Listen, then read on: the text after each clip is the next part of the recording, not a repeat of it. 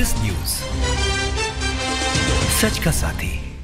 गाँव की वास्तविक स्थिति को सरकार तक पहुँचाने के सिलसिले में एबीपीएस न्यूज़ की टीम जिला गाजियाबाद पहुँची, जहाँ पर देखा कि इस गाँव में ग्राम प्रधान द्वारा सोलर लाइटों का निर्माण कराया गया तो वहीं नलों को रिबोर कराकर स्वच्छ पानी पीने की व्यवस्था की गई।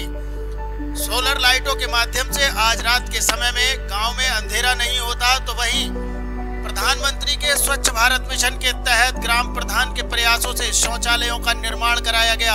तो इसके साथ साथ तमाम अन्य योजनाएँ जो सरकारों द्वारा चलाई गई, उन्हें आम जन मानस तक पहुँचाने का पूरा प्रयास करते हुए ग्राम प्रधान द्वारा सड़कों का निर्माण कराया गया, ताकि लोग अच्छे से अपना रास्ता तय कर सके। इसमें सीसी रोड के साथ साथ टाइल्स वाली रोड के अलावा कच्चे काम के अंतर्गत मनरेगा के माध्यम से भी रास्तों का निर्माण कराया गया है। तो वहीं प्राथमिक विद्यालयों में भी ग्राम प्रधान ने ग्राम निधि के द्वारा तमाम कार्य कराए, चाहे वो मॉडल शौचालय का मामला हो, चाहे स्कूल में टाइल्स बिछाने का मामला हो। आगे की बात सुनते हैं सीधे ग्राम प्रधान की जुबानी। मैं ग्राम प्रधान ग्राम बंदीपुर। मैंने जो विकास कार्य कराए हैं, उसको कम देखते हुए थोड़ी सी डिमांड भारी हो रहा है। जो कि सबसे बड़ी समस्या हमारी पानी की निकासी की है और एक पानी की टंकी मिल जाए गाँव के अंदर और एक जूनियर हाई स्कूल बन जाए बच्चों के लिए। ज़्यादा बड़ी डिमांड हमारी स्कूल में जो विकास कार्य कराए हमने और वो इंटरलॉकिंग का कार्य कराया है। समर सेवल करवाया है, टंकी फिटिंग कराई है और बच्चों को बैठने के लिए बेंच मंगाए हैं, कुर्सी मेज। ऐसी ही आंगनबाड़ी में है।